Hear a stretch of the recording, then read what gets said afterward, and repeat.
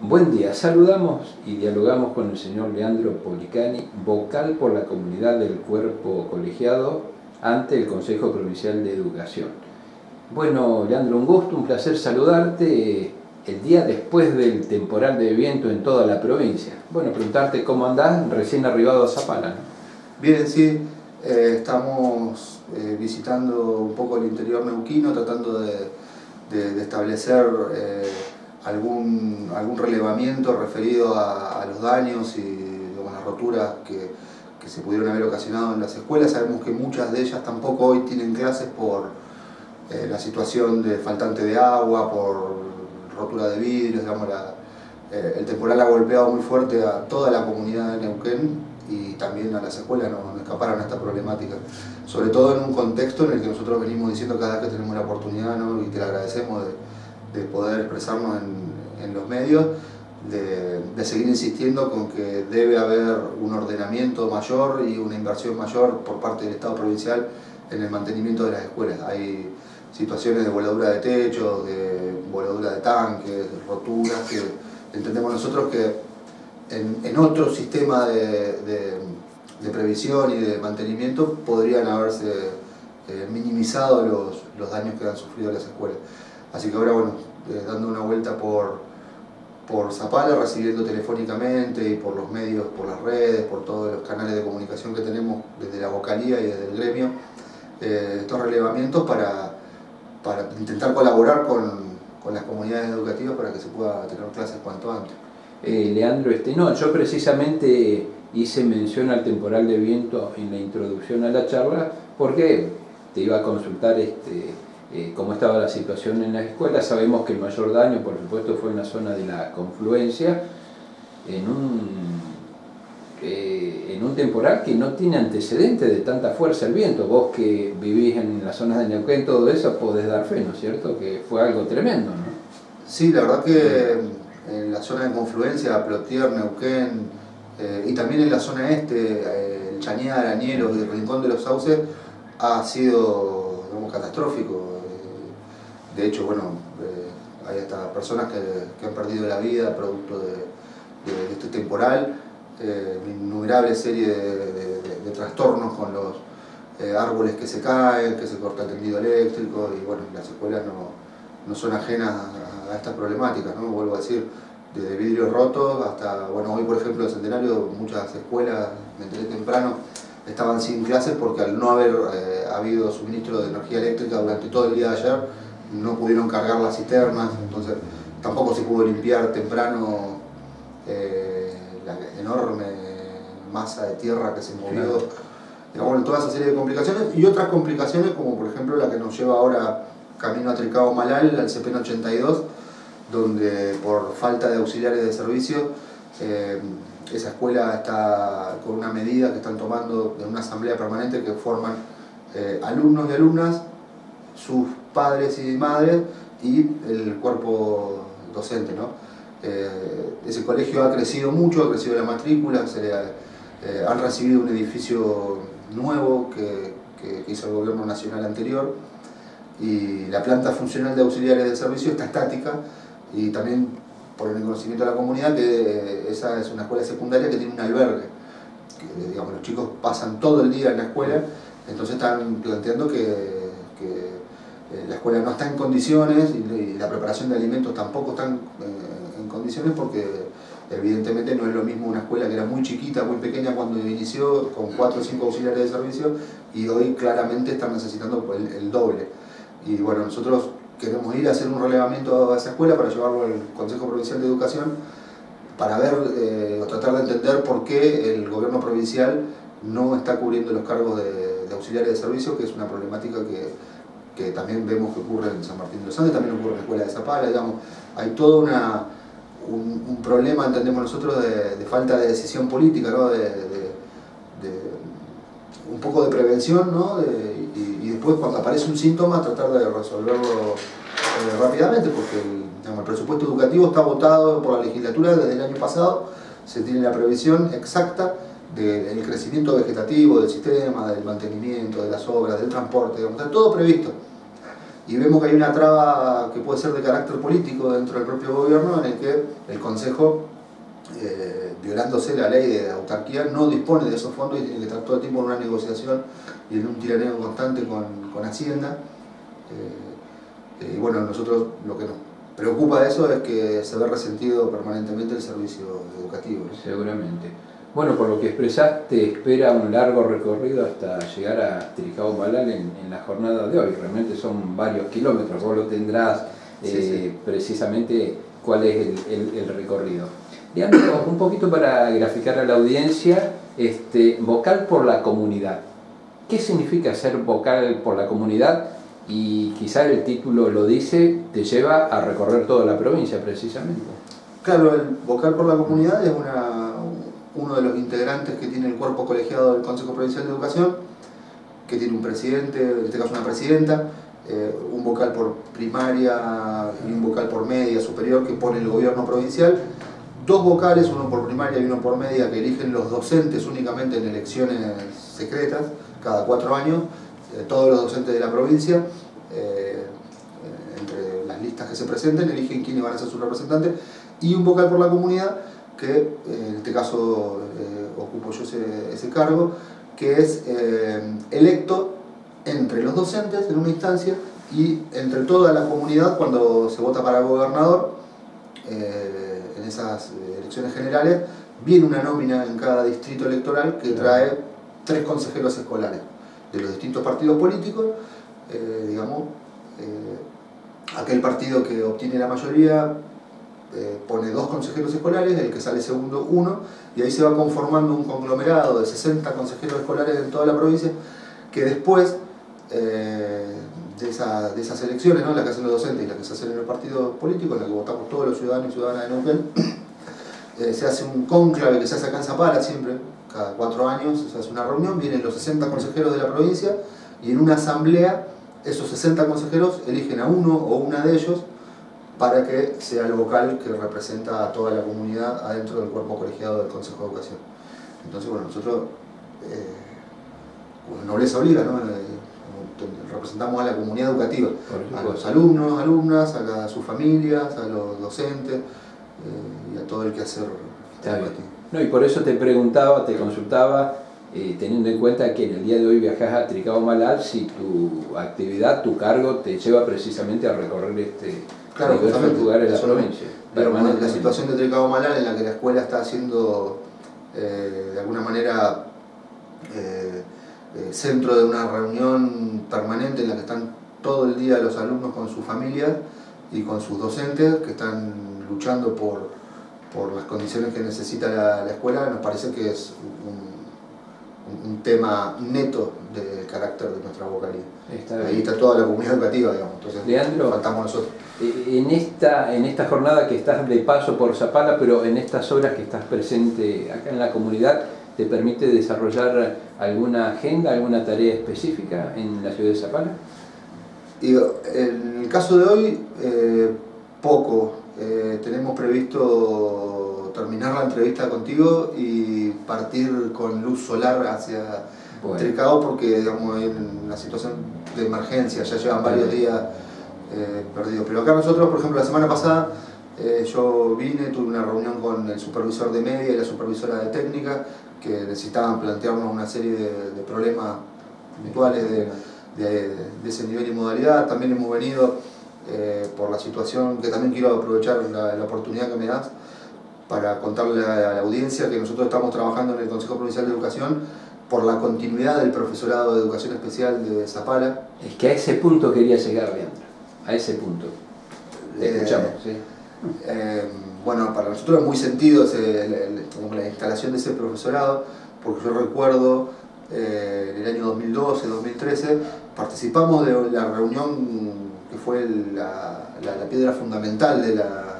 Del logro del profesorado, que se hizo en la Escuela Especial 5, donde fuimos nosotros desde la vocalía, eh, con algunos compañeros del gremio de Neuquén en aquel momento, con la intendenta Soledad, eh, a escuchar a los, a los docentes y a, las docentes que trabajan en esa escuela, que nos planteaban que necesitaban eh, formación específica para educación especial, porque digamos, eh, yo soy maestro de primaria, estoy, si bien estoy habilitado para trabajar en una escuela especial, no tenemos la totalidad de los elementos que, ese trabajo requiere. Entonces las maestras de la escuela especial nos planteaban eh, que, bueno, que era necesario tener en el centro geográfico de la provincia una carrera para poder eh, agregarle a su título de maestra el título de profesora en educación especial. Así fue que iniciamos un expediente administrativo en el Consejo y en aquella gestión del Consejo Provincial de Educación encontramos respuesta, ¿no? porque eh, después de, presentar y, sostener eh, con, argumentos que las autoridades del gobierno provincial entendieron en el Consejo en ese momento que estratégicamente y que el lugar era correcto, que sea en Zapala, y que además era muy importante, que nosotros seguimos sosteniendo que sigue siendo muy importante contar para cada especificidad del sistema educativo con la mayor cantidad de docentes titulados que sea posible.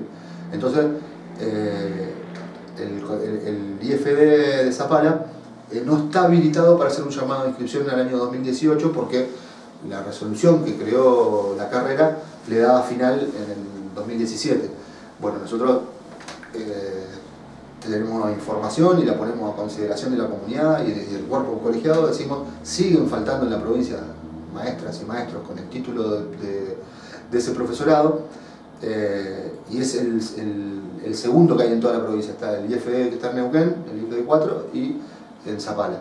Entonces nos parece que eh, no permitir una inscripción de una corte más en el año 2018 de alguna manera entendemos nosotros es atentar contra, contra la calidad bien entendida del, derecho social que tienen también eh, los niños y niñas con discapacidad a recibir la, mejor educación posible. Así que estamos ahí, ya presentamos nuevamente un proyecto, la gente del IFE eh, realmente está trabajando muchísimo para sostener eh, esta carrera y creemos nosotros que es muy importante que toda la comunidad de Zapala eh, apoye al IFD en esto. Nosotros, bueno, ahí hacemos lo que, lo que tenemos que hacer, digamos, que es ser el vehículo entre una necesidad que tiene la comunidad y la respuesta que tiene que dar el Consejo. Así que ya presentamos toda la documentación, lo tenemos en debate y yo me animo a aventurar que, que va a haber inscripción en el 2018. Yo creo que hemos avanzado en la discusión con, con los representantes del del Ejecutivo, con la dirección de nivel, con los, las vocales. Yo creo que los. No solo no nosotros, los argumentos son tan poderosos que me parece que, que va, va, a tener una inscripción nueva el, el IFE. Todavía no lo puedo asegurar porque no, no hemos firmado la, la, norma legal, pero ni bien esté, vamos a venir también a darle la buena noticia a la gente de Zapala que va a poder seguir estudiando.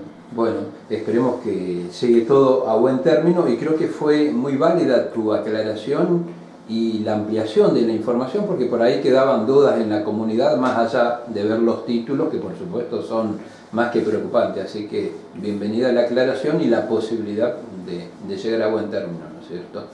Leandro, dejo para lo último, así no te saco más tiempo y puedes emprender el viaje a Tiricao Malal, para comentarte y una reflexión también en relación a la importante asamblea que tuvo ATEM eh, a nivel provincial el último fin de semana, creo que fue el día sábado en la ciudad de Chosmalal. Una asamblea donde trajo muchos comentarios en lo previo, en el transcurso de la misma y a posterior, donde también hubo determinaciones, recién lo hablábamos fuera del micrófono, que podemos mencionar como trascendentes e históricas. ¿Nos podéis ampliar detalles? Sí, cómo no. Eh, nosotros desde el espacio que político sindical que conduce a TEN, desde el TEP, eh, que estamos bueno, eh, en la conducción de la TEN provincial, de, muchas seccionales del interior, y hemos ganado también este año las internas en el Consejo Provincial de Educación, por lo tanto vamos a, seguir trabajando con los vocales gremiales de nuestra tendencia política. Entendíamos que no se puede sacar de contexto la asamblea. El estatuto de nuestro sindicato todos los años obliga a convocar a una asamblea para poner en consideración la memoria y el balance, que son requisitos fundamentales para que la vida institucional, eh, para tramitar, para tener la personalidad gremial, para que el sindicato sea legal. Eh, y nosotros en, un contexto general eh, en el que bueno, hemos visto que por cuestiones administrativas se han intervenido otros sindicatos porque les faltaba cumplir con lo que plantea la ley 23.551 de las asociaciones profesionales, entendimos, bueno, estando en la conducción, es la responsabilidad que tenemos de poner a resguardo a nuestra institución, eh, en este caso nuestro sindicato, eh, de, de, estar por fuera de la ley o por cuestiones que se puedan interpretar y, y, y traernos problemas. ¿no? Entonces tomamos la decisión política de eh, aprovechar la convocatoria provincial de la Asamblea de Memoria y Balance para adecuar eh, un montón de procedimientos que está haciendo nuestro sindicato por uso y costumbre, pero que no están en el texto del sindicato. De hecho, ATEN en su estatuto eh, cuenta nada más con, que, con cuatro seccionales. Hoy tenemos 22. Eh, en, el estatuto de ATEN no existen las asambleas por seccionales como la que se realiza acá en Zapala, como la que se realiza, en Las Lajas, en Añelo, en Rincón de los Sauces. Eso no existe. No existe el plenario de secretarios generales, ustedes sabrán, ¿no? Todos los años, cuando lamentablemente tenemos que tener conflicto salarial en los medios, bueno, se reúne el plenario de ATEN, se el plenario de ATEN no existe en el estatuto de ATEN, digamos, no existía. Eh, lo que entendíamos nosotros nos podía poner en jaque ante alguna avanzada de la patronal eh, por la vía legal respecto de las decisiones que nosotros estamos tomando dentro del sindicato. Eh, así que bueno, nosotros hemos tenido que yo, eh, al cierre de este conflicto eh, 2.500 compañeros participando en las asambleas en toda la provincia. Y que eso no esté eh, en, en, la letra del estatuto, eh, digamos, lo que no está escrito no existe.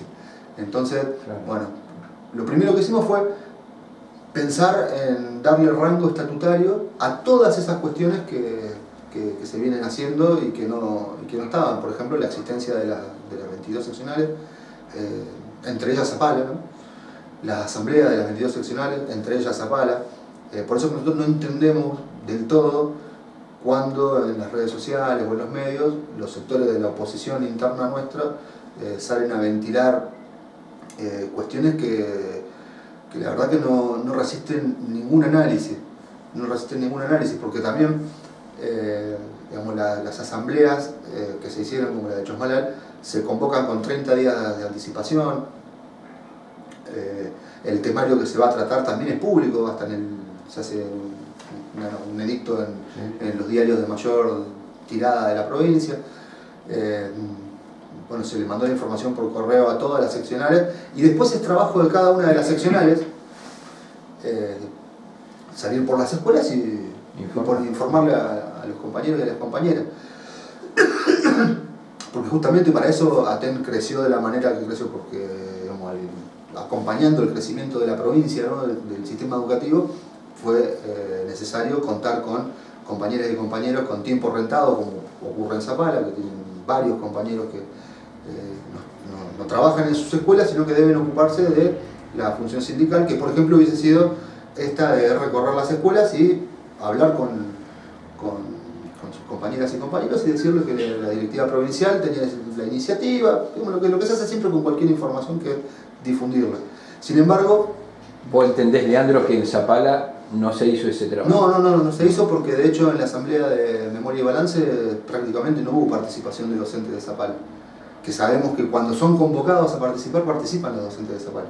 De hecho, en las asambleas que, que han realizado cuando estamos con algún conflicto sí. o en las, en las, instancias de formación y capacitación que proponemos, eh, van de asientos los compañeros. Y bueno, los que estuvimos en Chosmalá el otro día vimos que de Zapata eran un puñado de, de dirigentes que, que, están rentados a tal fin, digamos, y que hubo participación de la base, digamos, de, de, de, Zapala, siendo la responsabilidad de la información y de la distribución de los datos de la comisión directiva de la seccional, porque justamente para eso tenemos 22 seccionales, porque si no, no puede salir eh, él por toda la escuela de la provincia a decirle lo que va a pasar dentro de un mes. Para eso tenemos nuestros representantes en cada lugar, de cada tendencia, lo que han elegido acá las compañeras y compañeros de Zapala, nosotros lo respetamos absolutamente. Ahora nos parece que mm, digamos, sería mejor eh, abandonar un poco el teclado de la computadora y, visitar las escuelas y decirle a, las compañeras y los compañeros la importancia que tuvo esta, eh, esta reunión, esta asamblea de Zapala eran más de 600 compañeras y compañeros que participaron, cosa que no ocurre en ningún otro sindicato. Que con un mes de anticipación se pone a consideración el temario, que se dan todas las garantías económicas para que los docentes puedan viajar a cualquier lugar de la provincia donde se hace esa asamblea.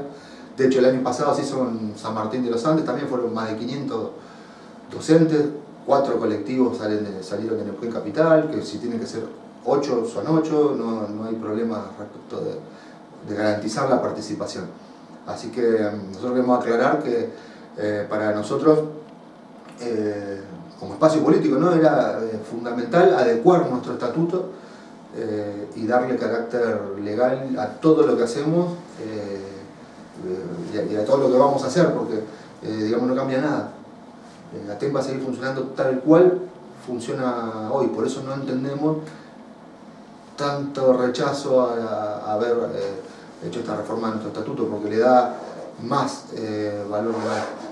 Leandro, este, bueno, interesante el planteamiento y el análisis que hacer de, esta situación y teniendo en cuenta eh, las diferencias políticas con determinadas seccionales, te consulto si se desarrolló con normalidad de esta importante asamblea en Chosmalal.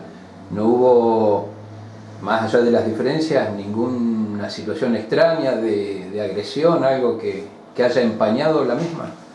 No, no, no, por suerte, no, digamos, eh, hay algunas cuestiones folclóricas de, esas grandes reuniones sindicales que tienen que ver con el, con el bombo, el redoblante, que realmente le dan color y son parte del folclore. Lo que sí hubo claramente, dos sectores eh, que, digamos, no, ni metodológicamente, ni ideológicamente, ni políticamente tenemos nada que ver. Porque eh, los compañeros y compañeras que fueron de, nuestra oposición a la, asamblea realmente no fueron a participar de la asamblea, eh, fueron a, tratar de impedir el uso de la palabra, que es algo que a nosotros que somos maestros realmente nos tiene que, preocupar, porque estar las 5 o 6 horas que dura la asamblea, cada vez que un compañero o compañera de nuestra tendencia agarraba el micrófono para expresarse, como hacemos los maestros, nuestra herramienta es la palabra, eh, impedirlo con gritos, con, tocar el bombo, con el megáfono, eh, realmente eh, no, aporta, no, aporta para el, no aporta en lo colectivo, empaña un poco de alguna manera la, cuestión, porque a nosotros nos hubiese gustado que ellos escuchen nuestro argumento. Y realmente sentimos que vivimos que no fueron a escuchar, no fueron a discutir. la verdad que los y las militantes de nuestro espacio no, no cayeron en ninguna provocación, nosotros escuchamos respetuosamente, yo quería saber qué pensaban estos compañeros respecto de... Y la verdad que no hablaron de, en la asamblea, no hablaron, no se expresaron respecto de lo que se trataba. Eh, digamos, en sus, en sus alocuciones eh, lo único que hubo fue cuestiones político-partidarias, de cosas que nosotros la verdad que si bien no somos neutrales, cada cual tenemos nuestro, nuestro corazón y nuestra cabeza puesta en algún lugar, entendemos claramente que esa asamblea y todas las actividades que nos convocamos de ATEN son de la órbita de ATEN. Y cada uno de los oradores y de las oradoras que hablaron de nuestro espacio hablaron de la memoria, del balance y del estatuto del sindicato, que eran las cosas a las que nos habíamos convocado. Eh, mientras nuestras compañeras y compañeros hablaban de eso, del otro lado había sirena de megáfono y, bombo. La verdad que lamentable, sobre todo en el oficio que, y la profesión que nosotros abrazamos, que, es poder dialogar y poder escuchar. Leandro, para ir finalizando, bueno, han ido pasando los minutos, pero muy interesante la conversación. Hubo una determinación trascendente también en, el temario que está relacionado eh, a la extensión del mandato de, los dirigentes. ¿no sí, sí, tres, puntos que no, mencioné. Eh, uno es ese, el de la duración de los mandatos. Nosotros en ATEM veníamos con, la, eh, con el estatuto anterior a la Ley Nacional de Asociaciones Profesionales, que es la que nos rige actualmente, y veníamos con mandatos de dos años, que entendemos nosotros eh, son realmente muy poco tiempo para, poder desarrollar proyectos políticos. Nosotros, ustedes saben, eh, tenemos un proyecto de una escuela de formación que, que da cursos gratuitos a, nuestros afiliados. y, por ejemplo, sostener eso, eh, sostener las políticas que permiten el incremento patrimonial de nuestro sindicato, como las construcciones que se hicieron en San Martín, en Centenario, en la TEN Provincial, eh, la compra de un terreno en Plotier, que se va a hacer la, se votó también en esa asamblea el otro día que se le construya eh, el edificio propio a, Plotier, que lo conduce a esta otra tendencia, pero para nosotros Aten es uno solo. nos, nos exige de, tener periodos de, mayor tiempo que, tengan concordancia con todos los otros sindicatos docentes de la nación. ¿no? Eh, el único que queda con dos años es ATEN, que terminan ahora en, eh, en 2018, y a partir de allí, o sea, en las nuevas elecciones, el próximo mandato que sea de tres años, y después en el otro mandato, en el del que finalizaría en el 2021, eh, llegar a cuatro y ahí quedaríamos eh, equiparados con todas las otras organizaciones a nivel nacional. Entonces, tendríamos un poco menos de ritmo de elecciones porque todos los años tenemos una, dos y hasta tres elecciones. Y realmente eso te quita eh, de alguna manera energía de poder pensar en los proyectos políticos que son los que esperan nuestros compañeros y no solamente en las campañas electorales. Así que con total claridad lo planteamos en el temario nosotros y lo pusimos a consideración de, los afiliados y, bueno, salió en la votación eh, ganadora esa, esa, propuesta. La otra cuestión es, eh, se expulsó a un afiliado de la organización porque había sido penalmente encontrado responsable de abuso y violación y se incorporó al texto del estatuto que no lo tenía eh, toda la cuestión de género, ¿no es cierto? Nosotros somos un sindicato que tiene más del 80% de de las afiliadas mujeres. Eh, entonces nos pareció también eh, que, eso debía estar reflejado en, el estatuto y que sea causal de, expulsión directa, digamos, cualquier delito que cometa algún afiliado contra la integridad de los menores, las menores y de las mujeres. Eso también quedó dentro del estatuto y también nos parece preocupante eh, que no lo hayan querido votar nuestros sectores de oposición, porque esos son temas que nos tienen que, eh, que, unir, digamos, son, indiscutibles. Digamos, ¿En qué discusión podría haber? ¿Quién estaría en contra de que no haya en una organización como ATEN eh, un violador o un golpeador o un deudor de cuota alimentaria? Si nosotros lo tenemos como currícula en la ESI, en la educación sexual integral, es una obligación que tenemos de enseñar respecto de, esas cuestiones. Porque digamos, no, hay discusión posible, solamente eh, con aquel que no quiere discutir. Es, es, el punto, ¿no? Eh, y la otra cuestión, mencionamos, mencionamos lo de los mandatos, lo de la cuestión del género, y me falta una. Eh, y bueno, y el tema de los mandatos, precisamente, lo, como medio de prensa, lo hemos hablado con las máximas autoridades de, de Aten, con Marcelo Bagliardo, que era como que se vivía de campaña en forma permanente, ¿no? Con, este estatuto de un periodo tan corto, ¿no? claro, de hecho nosotros este año, eh, por mencionar nada más, ¿no? en el 2017, elecciones de los cargos del Consejo Provincial de Educación, elecciones de instituto, después tenés la general de instituto y la general, son cuatro elecciones, elecciones de CETERA, cinco elecciones. Tremendo, eh, y tenemos que seguir sosteniendo todo lo que, lo que se está haciendo, ¿no? Entonces nos parece que es lo más honesto eh, decirles a nuestras compañeras y compañeros que en esos tiempos no se puede trabajar eh, con la responsabilidad que, por lo menos nosotros tomamos la, función sindical y, política. Eh, y eso hemos hecho, decir la verdad con transparencia, con claridad y ponerlo a consideración de una asamblea. ¿no? Me parece lo más honesto y lo más natural para un sindicato como el nuestro. Bueno, agradecerte infinitamente, no te sacamos más tiempo, así emprendés el recorrido. Si quedó algún temita será motivo de otra conversación. Para la ¿eh? próxima, ningún problema. Este, bueno, buena gestión y buen viaje también. Bueno, muchas gracias por la, por la oportunidad.